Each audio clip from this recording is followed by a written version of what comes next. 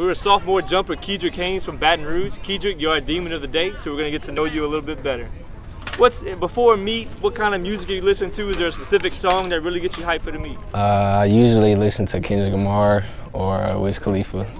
Gotcha. Favorite song? If- Do you have a go-to song? Uh, Mama by Kendrick Lamar. Gotcha. Who's had the biggest influence on you? Uh, my brother. He's uh, he's very inspirational, and, and Ja'Cory also. He's a, he's a motivator for me.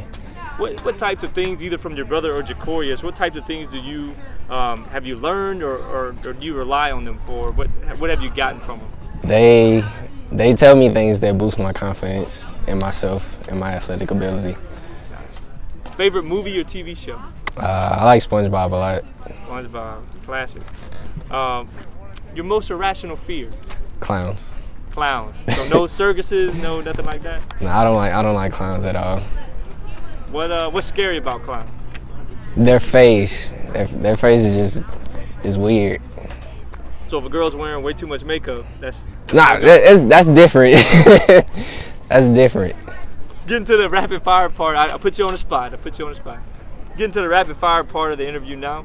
Favorite late night snack? Uh, Twizzlers, Twizzlers. How many times a week do you eat Twizzlers? twice. Twice a week. Uh, cats or dogs? Dogs, You have a favorite breed? uh, pit bulls, Candy or chocolate? candy, Favorite type of candy? Twizzlers. No sweet tarts. What what other candy you like? That's it. Just uh. I like Skittles too. Let's. Uh, favorite subject in school? Uh, biology.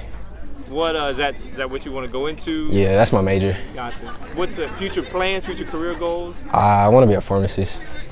Gotcha. And then vanilla or chocolate? Vanilla. Gotcha.